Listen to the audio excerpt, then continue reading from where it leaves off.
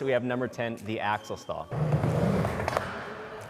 As you can see, it's literally just getting both your trucks onto the coping, stalling, and then going back in. So you got pumping, you got kick turns, you know how to drop in. So you kind of combine elements of those to make this trick happen. Yeah, I recommend just rolling up, getting enough speed, and you're gonna wanna aim your back truck towards the coping, and that's gonna be your pivotal point to get the front truck on, at least when you're learning.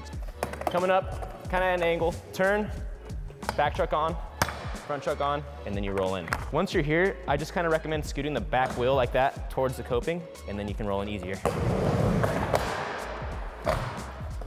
If you're kind of scared of it at first, maybe just start doing this. Get higher and higher. Oh, see, I almost made it. Bang. A common issue with this trick is you, your back truck misses. So work on getting that back truck on, and then from there, pivot, get the front truck on, and then you're good to go.